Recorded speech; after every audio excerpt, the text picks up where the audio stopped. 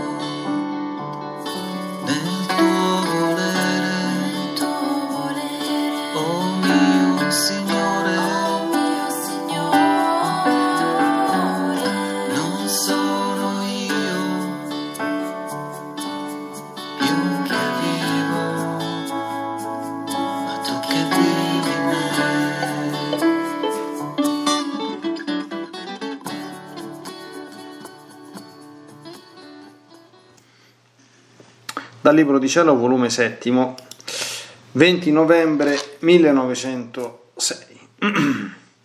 Continua il mio povero stato pieno di amarezza, ma di pace, per le quasi continue privazioni che subisco. Appena al lampo l'ho visto dicendomi, figlia mia, l'ubbidienza è un muro irremovibile e tale rende l'anima. Non solo, ma per essere irremovibile è necessario essere forte, robusto. E l'ubbidienza comunica la fortezza divina in modo che tutte le cose innanzi alla fortezza divina che lei tiene restano deboli, in modo che essa può smuovere tutto e ad essa non la può smuovere nessuno. Ed è sparito via. Capitolo 69, 28 novembre 1906.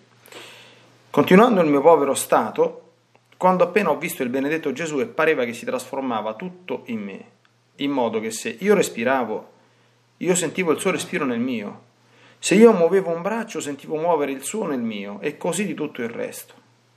Mentre ciò facevo mi ha detto, figlia diletta mia, vedi in che stretta unione sto io con te? Così voglio te, tutta unita e stretta con me. E questo non ti credere che lo devi fare quando soffri o preghi solo, ma sempre, sempre.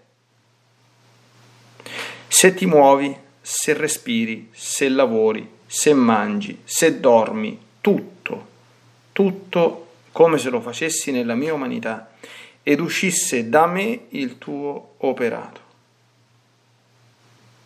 In modo che non dovresti essere tu altro che la scorza e rotta la scorza della tua opera, si dovrebbe trovare il frutto dell'opera divina. E questo devi farlo a bene di tutta quanta l'umanità, in modo che la mia umanità si deve trovare come vivente in mezzo alle genti. Perché facendo tu tutto, anche le azioni più indifferenti, con questa intenzione di ricevere da me la vita, la tua azione acquista il merito della mia umanità. Perché essendo io uomo e Dio, nel mio respiro contenevo i respiri tutti, i movimenti, le azioni, i pensieri, tutto contenevo in me, quindi li santificavo, li divinizzavo, li riparavo. Onde facendo tutto in atto di ricevere da me il tuo operato, anche tu verrai ad abbracciare ad ottenere e a contenere tutte le creature in te, ed il tuo operare si diffonderà a bene di tutti. Sicché ancorché gli altri non mi daranno niente, io prenderò tutto da te. Pare che sto dicendo tanti spropositi, sono cose intime e non so dirle bene. Vorrei scriverle come le tengo nella mente, ma non posso. Mi pare che una goccia di luce prendo e cento me ne sfuggono. Avrei fatto meglio tacendo, ma del resto sia tutto a gloria di Dio. Capitolo 73 dicembre 1906 Non venendo il benedetto Gesù, sentivo tale amarezza, non solo ma come un intoppo nel mio interno da rendermi quasi irrequieta. Oh Dio, che pena che paragonata a tutte le altre pene non sono altro che ombre, anzi, refrigerio. È solo la, alla tua privazione che deve darsi il nome di pene.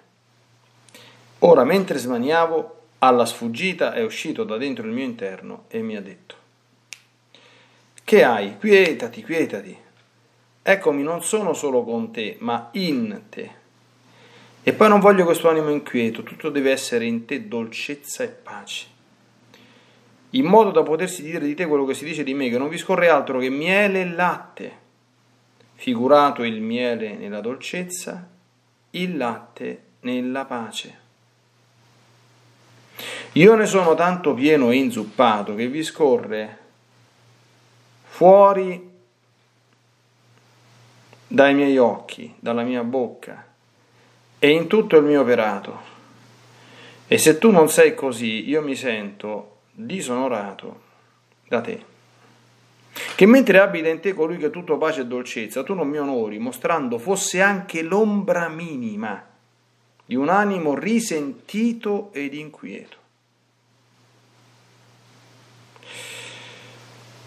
Io amo tanto questa dolcezza e pace, che ad onta che si trattasse di cosa grande, di mio onore e gloria, non voglio, non approvo mai quei modi risentiti, violenti, focosi, ma quei modi dolci, pacifici, perché la sola dolcezza è quella che come catena incatena i cuori, in modo da non potersi sciogliere, è come pesce che si attacca e non si possono liberare e sono costretti a dire in quest'anima c'è il dito di Dio, perché non possiamo agire diversamente. E poi se non piace a me il modo risentito, non piacerà neppure alle creature. Uno che parla, che tratta di cose anche di Dio con modi non dolci e pacifici, è segno che non tiene le sue passioni ordinate. E chi non tiene se stesso ordinato non può ordinare gli altri. Perciò attenta tu a tutto ciò che non sia dolcezza e pace, se non vuoi disonorarmi.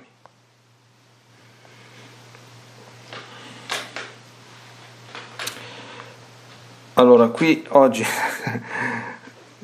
Le meditazioni sulla divina volontà sono sorprendenti perché ogni santo giorno, ogni santa mattina, eh, leggendo, eh, e quindi poi meditando, perché è molto diverso la lettura fatta in contesto di meditazione, io questa è una mia esperienza personale, dalla lettura fatta in contesto di lettura, quindi che tu inizi certamente a leggere con attenzione, ma poi ci metti punto, no?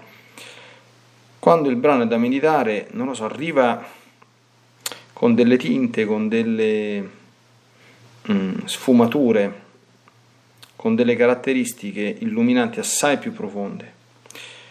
E la reazione che provoca è, cioè, oggi veramente stiamo dinanzi a, a punti focali fondamentali lo provoca anche oggi, specialmente l'ultimo paragrafo che abbiamo fatto, qui bisogna chiosare nuovamente Papa Francesco, questo bisogna non metterselo bene in testa, ma di più. E attraverso questo schermo di questo brano invito chiunque farà questa meditazione a leggere tutto quello che fa e tutto quello che fanno, tutto quello che si fa intorno a noi. Perché dove non c'è pace e dolcezza, Gesù ha detto esplicitamente, poi lo riapprofondiremo, anche se si trattasse di cosa grande, di mio onore e di mia gloria, io non voglio e non approvo quei modi. È tassativo Gesù. Quindi anche se ci andasse di mezzo la sua gloria, il suo onore, una cosa grande, non approva quei modi che poi mediteremo. Andiamo con ordine. Prima cosa, l'ubbidienza ancora. L'ubbidienza sappiamo che cosa è, l'ubbidienza, questo ricordiamolo sempre, è ubbidienza a Dio e ai suoi voleri. Questo è sempre, i classici dicevano il princeps analogatum di ogni forma di obbedienza. E dove si manifesta la divina volontà, noi non dobbiamo capire più niente, d'accordo? Se uno vuole vivere nella divina volontà, ma anche qui certi gradi di obbedienza, come dire, sono ben al di sotto, insomma, della vita nella divina volontà, perché integrano la vita cristiana. D'accordo? Quindi dove c'è la divina volontà, per esempio i comandamenti, ma lì capite, cioè non, noi, noi, non possiamo capire più niente. E facciamo qualche esempio di, di attualità, no? Perché molte cose che oggi sono considerate un optional, oppure sono trasgredite alla grande, sono questioni di comandamenti. Il quarto comandamento dice onora tuo padre e tua madre.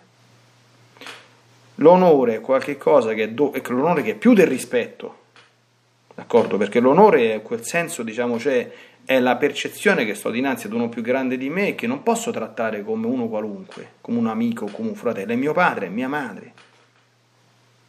L'onore prescinde dal merito della persona investita dell'onore, perché dipende dal ruolo che quella persona ha nell'ordine divino per divina volontà ed è un ruolo di autorità. Usiamola questa parola, eh? autorità non vuol dire dittatura o eh, legittimazione a fare qualunque cosa, ma è un ruolo di autorità. Cioè, in teologia classica i genitori si chiamavano i superiori e si dicevano che i superiori tengono il posto di Dio, non nel senso che sono padre eterni che non sbagliano mai, ma nel senso che la loro funzione è quella divina, rappresenta Dio. Ora, se uno apre il catechismo della Chiesa Cattolica, non i trattati del Medioevo, vedrà che ciò che si dice per i genitori vale per estensione per una serie di categorie di persone che oggi sono da tutti quotidianamente messi sotto i piedi con la massima nonchalance per esempio i governanti, a prescindere dal colore politico che hanno. Cioè, eh, nella Camera dei Deputati, non voglio fare politica adesso, no? Si chiamano onorevoli non perché sono persone sante, tutte, o stimabili, o corrette, o oneste, ma perché la funzione che occupano, che è una cosa elevata anche se la persona fosse assolutamente incosciente o indegna anche di stare lì, è degna d'onore perché sta curando la cosa pubblica, sta facendo un servizio di per sé alla collettività, ha nelle mani la vita delle persone. Quindi funz- dirgli onorevole glielo ricorda anche a lui. Sta attento a quello che fai, perché Dio ti, ti giudicherà con maggiore rigore perché tu stai in una posizione delicata, dalle tue azioni dipende il bene o il male degli altri. Attenzione, è Dio però che giudica in maniera più elevata, non noi, capito? Noi gli rendiamo onore, preghiamo per lui, certamente ubbidiamo a tutte quante le cose che sono giuste e legittime, perché nei confronti della legge umana ci sono delle grosse eh, limitazioni, no? Però è uno stile. Non parliamo poi oggi, anche in certi ambienti di chiesa, dell'onore che si toglie e lì, oltre che l'onore, in certi casi c'è anche qualcosina di più, è la riverenza per la sacralità della persona e delle funzioni, oltre che per l'oggettiva autorità che hanno. Sono nei confronti dei ministri, cioè tutti i sacri ministri, dal più piccolo al più grande. E noi non possiamo se siamo credenti, uniformarci alla mentalità dominante che vedendo tante cose spara e getta fango contro i sacri ministri. Dal loro punto di vista facciano pure, insomma, ma noi non possiamo, non dobbiamo certamente in nessun modo eh, assecondare né approvare nulla, anzi condannare i fatti e il peccato fermissimamente e senza nessuno sconto. Quando ci sono cose gravi è dovere anche di un fedele non sbraitare, ma avvertire le autorità ecclesiastiche competenti perché prendano misure eh, anche disciplinari, anche, anche severe nei confronti di qualche fatto oggettivo, ma rimane l'onore dovuto a quella persona. Cioè questo è un discorso che rientra perché dentro l'onore rientra anche l'ubbidienza. Certamente l'ubbidienza alle autorità umane termina nella eventuale trasgressione da parte di un'autorità umana della legge di Dio, ma anche questo deve essere un fatto oggettivo, cioè se la legge dello Stato eh, consente, del, consente di, di, praticare l'aborto in una clinica e un medico è cattolico e non vuole cooperare con questo, deve fare obiezione di, di coscienza, non è un optional, d'accordo? Perché non può, mh, come dire, eh, nascondersi dietro la legge, d'accordo? parave, fare della legge un paravento per giustificare una cooperazione formale ad una cosa che non è eh, consentita dalla legge di Dio. Ma questo è un caso oggettivo, d'accordo? E, e reale di trasgressione. Ecco, perché negli altri casi, anche se la legge è gravosa, eh, dobbiamo uniformarci. Quindi, se vogliamo stare nella divina volontà, attenzione, eh. cioè, uno stile differente da questo deve essere percepito dalla persona come non compatibile con la volontà divina. Gesù stava sottomesso ai genitori, stava sottomesso alle autorità del suo tempo. San Paolo scrive: Stiate sottomessi ad ogni istituzione umana per amore del Signore. Quindi non ci si può, per esempio, sciacquare la bocca di divina volontà o eh, presentarsi come super cristiani o cattolici col K e avere degli atteggiamenti disinvolti o trasgressivi o sprezzanti nei confronti di queste persone. Non si può. E bisogna ritenere come certamente contrario alla volontà di Dio ogni atteggiamento contrario. E fare così significa blindarsi, dice Gesù, dentro un muro invincibile, perché contro l'ubbidienza diavolo non vale, non c'è nessuna possibilità di ingresso da parte sua. E contro questo stile. Secondo paragrafetto, non voglio importantissimo, santificare, cioè stare uniti con Gesù in tutte le azioni, questo è l'H24 della vita nella divina volontà, che dobbiamo metterci anche questo bene in testa, perché vedi, qui Gesù dice chiaramente, dice guarda che io ti voglio unire stretta come, non solo quando stai a pregare, o quando soffri, cioè esattamente io sto a fare una preghiera, lo vado a messa, prego, mi unisco con Gesù, eh, mi unisco con la divina volontà, è ovvio, sto pregando, oppure qualcuno un po', un po di meno, sto soffrendo, offro a Gesù, eccetera, eccetera. Non ci siamo ancora capiti. Qui non si tratta di qualche istante, qui si tratta, Gesù fa alcuni esempi, ne possiamo fare altri, facciamo un pochino di esempi. Stai davanti al computer, lavorando al computer, ti devi unire alla divina volontà stai facendo uno sport, stai facendo una partita di pallone, giochi a tennis, quello che ti pare, e ti unisce alla divina volontà, stai vedendo una cosa lecita nella televisione e ti unisce alla divina volontà, ascolti un po' di buona musica e ti unisci alla divina volontà.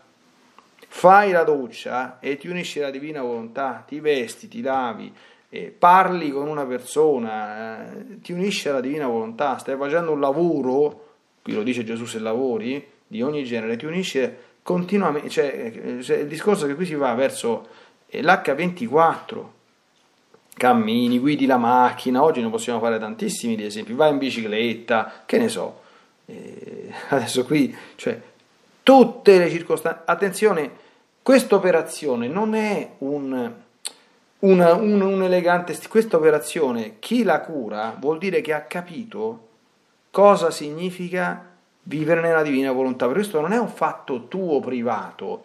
Uh, che bello, sto sempre con Gesù e così divento santo e stiamo sempre insieme. Certo, questa cosa c'è, ma Gesù dice una cosa fondamentale. Io nella mia umanità ho contenuto i respiri di tutti, i movimenti, le azioni, i pensieri di tutti e questo contenimento non era una cosa fatta tanto per farla, perché la vita della, del Verbo incarnato, ogni atto era santificazione, divinizzazione, riparazione per gli atti di ogni essere umano presente, passato o futuro. Se tu operi in Gesù in tutto, cosa succede? Lo dice Gesù, tu verrai ad abbracciare e contenere tutte le creature in te capito? Cioè io gioco a pallone e lo faccio unito con Gesù e da Adamo fino all'ultimo uomo sono contenuti nel mio gesto del giocare a pallone e il mio operare si diffonderà bene di tutti, i calci che do una palla? Signor sì, signor tenente. Signor sì, questo sta dicendo Gesù. Questo è vivere nella divina volontà. E attenzione, anche gli altri non mi daranno niente, io prenderò tutto da te. Cioè quel gesto dà a Gesù la gloria, la riparazione, l'onore di tutti i gesti che avrebbero potuto o dovuto fare gli esseri umani con quell'azione indifferente o buona o lecita e non l'hanno fatto. E procurano a ciascuno di essi un bene reale, anche se da molti sprecato, o quasi impercettibile, superiore a qualunque altra opera che tu potresti fare. E io quando feci le catechesi su questi punti cercai di essere chiaro, questo dobbiamo mettercelo bene in testa. Per cui la persona più insignificante di questo mondo, d'accordo? La, la, il casalingo, la persona sola, la persona che ha avuto una vita di fallimento, si è trovata senza il marito, senza i figli, abbandonata, che sta buttata dentro uno spizio. Pensiamo alle posizioni più peggiori, d'accordo?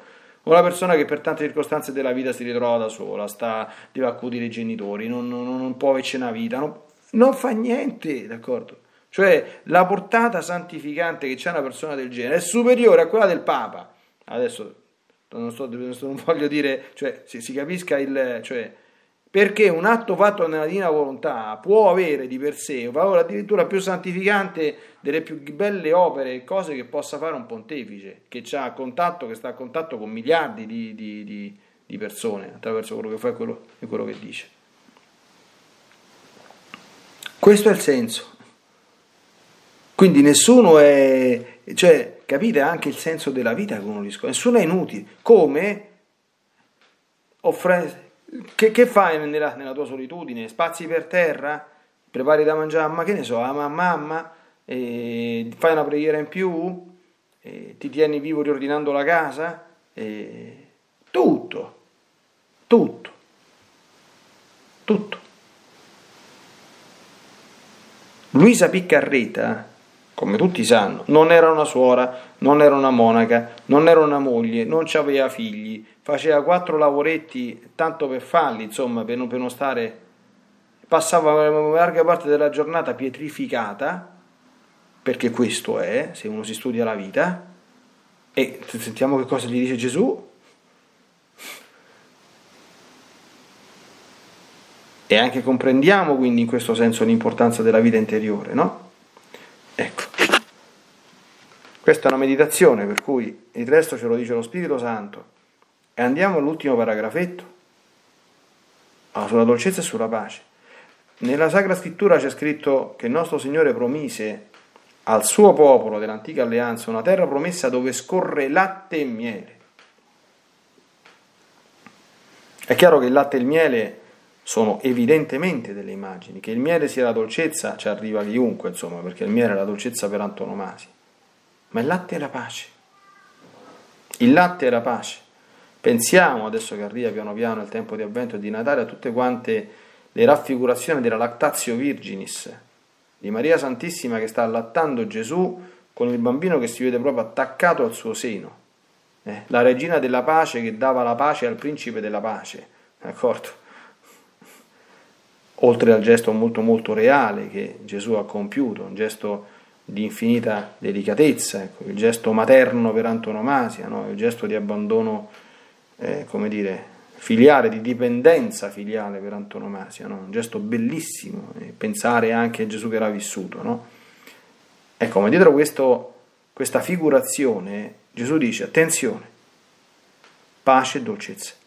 Io sono tutto pace e dolcezza. Gesù è la fotocopia della Madonna. Eh. Le anime mariane non è che questa cosa non se la devono ricordare, con tutto il rispetto e chiaramente comprendendo il senso mh, iperbolico di quello che uno sta dicendo, chi è mariano? Il doppio di questo deve, deve, deve vivere, il doppio, perché la Madonna è la fotocopia assoluta di Gesù.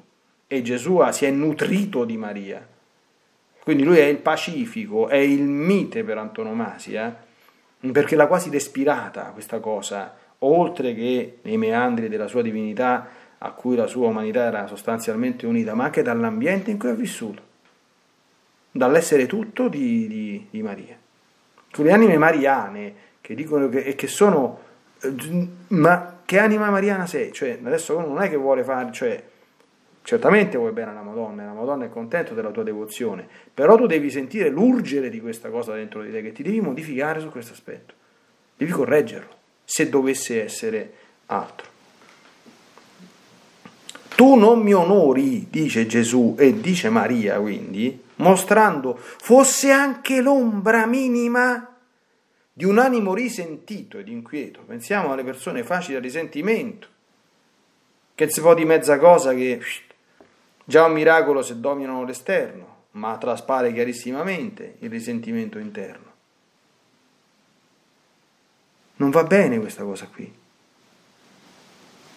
L'inquietudine in tutte le forme, ma ma come? Come si fa a non essere inquieti? Qui succede il finimondo, qui è successo questo, qui è successo questo, qui adesso arrivano tutta, tutta, tutta, tutta la monnezza che gira sul web, adesso arriva il finimondo, adesso arriva il castigo, il castigo ma, ma dico, ma, ma testa, testa e cuore, dice una canzone di, di Eros eh, eh, Ramazzotti, fa funzionare il cervello.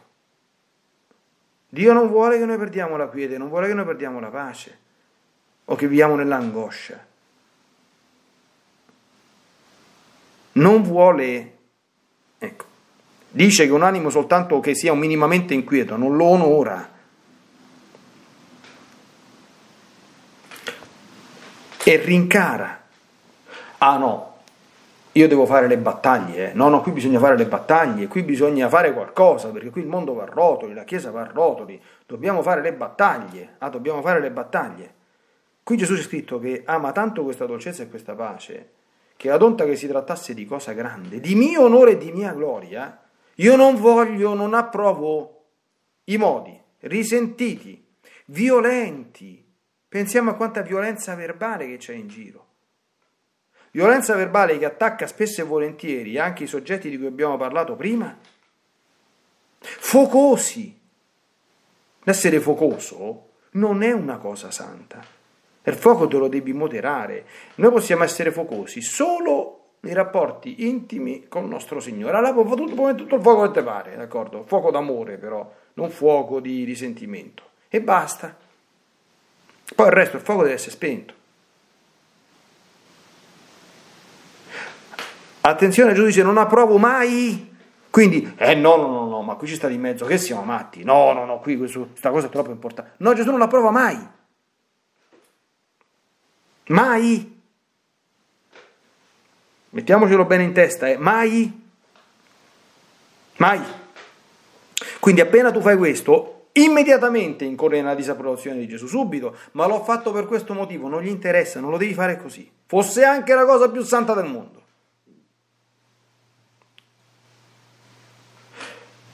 Io approvo i modi dolci e pacifici. Ma questo lo scrive anche San Paolo quando parla della testimonianza del Vangelo. Tutto questo sia fatto con dolcezza e con rispetto e corretta coscienza. Lettera a Timoteo, se non ricordo male. Solo la dolcezza è quella che incatena i cuori in modo da non potersi sciogliere. Dobbiamo dire qualche cosa, deve, deve trasparire il miele dal nostro parlare. Ma noi proviamo un attimo a pensare, ma noi siamo contenti quando ci sentiamo aggrediti, insultati, è il modo, me, me, supponiamo anche che tu dovessi dire una cosa in cui c'è ragione, d'accordo? C'è un problema reale, bisogna intervenire, bisogna fare qualcosa. Ma come fai qualcosa?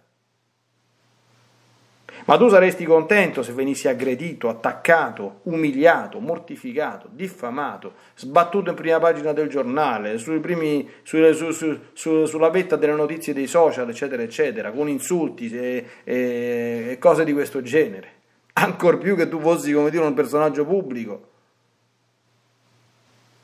Ma ce lo siamo dimenticati, tutto ciò che volete che gli uomini facciano a loro, fatelo anche voi a, a fatelo, tutto ciò che volete che gli uomini facciano a voi, fatelo anche voi a loro. L'ha detto nostro Signore Gesù Cristo nel Vangelo oppure no? Se tu agisci con dolcezza e con pace, a tempo e luogo opportuno, le dici le cose. In questo modo, forse chi ti ascolta penserà, forse, la pacatezza, la dolcezza, il non offendere mai nessuno, non mancare di rispetto a nessuno per nessun motivo, per nessuno. E Gesù specifica ancora, attento, se non mi piace a me il modo risentito, figurate alle creature. E ancora, uno che parla, attenzione, che tratta di cose anche di Dio, con modi non dolci e pacifici, è segno che non tiene le sue passioni ordinate, non che è pieno di zelo, attenzione, stiene le sue passioni non ordinate. E chi non tiene se stesso ordinato non può ordinare gli altri e non può autoinvestirsi del compito di castiga popoli e castiga matti. Non può. Non può, non è legittimato a farlo. Attenzione. Questo è un pezzo proprio eh, da, come dire, da, da cineteca, eh? ecco. e più che mai attuale. Concludiamo ricordando queste parole di Gesù che sono rivolte a me e a chiunque ascolta questa povera meditazione che è un eco di questo scritto, a chiunque legge questo passo e ci crede, 3 dicembre 1906, numero 70, ma qui Gesù non fa altro che parafrasare il Vangelo, cioè queste cose qui, se uno pensa al Vangelo, non è che sono cose strane, dice, oh, oh, io conoscevo un altro Gesù, adesso oggi questo si è messo in testa che bisogna essere dolci e pacifici, ma questo è il Vangelo, questo qui è, a meno che uno non se lo vuole rifare a propria immagine e somiglianza. Perciò attenta tu, attento tu a tutto ciò che non sia dolcezza e pace, se non vuoi disonorarmi. Capito? E tu te pensi che, ah, oh, ma io ho agito per la gloria, e quindi Gesù mi dirà bravo, quando sono andato dall'altra parte. Gesù ti dice bravo manco per niente. Ti dice guarda che tu mi hai disonorato, tu mi sembravi un cane arrabbiato, non un agnellino pacifico, mio discepolo, che porta quello che deve portare nel rispetto, nella dolcezza, nella pace, nella calma, nella concordia eccetera. Quindi questo che è una leva con cui il diavolo inganna le anime che agiscono in questo modo, perché gli fa credere che danno gloria a Dio, spezziamo questo eh, laccio e questa menzogna. Non si dà gloria a Dio, si disonora Gesù facendo così. E Gesù ce lo farà notare. E non è la stessa cosa certamente aver sentito queste cose e non averle sentite. Non fa niente quello che è stato nel passato, nel senso che quando nel nostro passato c'è qualcosa che ha trasgredito queste cose, ci mettiamo ciascuno davanti al Signore e facciamo tutti quanti mea culpa, le confessioni e chiediamo scusa a Dio e al prossimo, se è necessario. Non importa quello che è stato fatto nel passato, importa quello che faremo da oggi in poi. Perché sul passato abbiamo soltanto il potere di portarlo a, dinanzi alla Divina Misericordia, riparare se possibile il male fatto e chiedere perdono. Ma sul presente e sul futuro abbiamo il potere di cambiare rotta. E questo il Signore, se siamo fuori di questi parametri, certamente ce lo chiede. Se vogliamo vivere nella divina volontà, possiamo proprio stare sicurissimi che ce lo chiede. Altrimenti cambiamo spiritualità, ecco, cambiamo orizzonti, dice facciamo la spiritualità eh, dei, dei, dei, dei templari, che ne so adesso la, la prima sciocchezza che mi viene in mente, ma non quello che è la vita nel divino volere, che è tutto dolcezza e pace.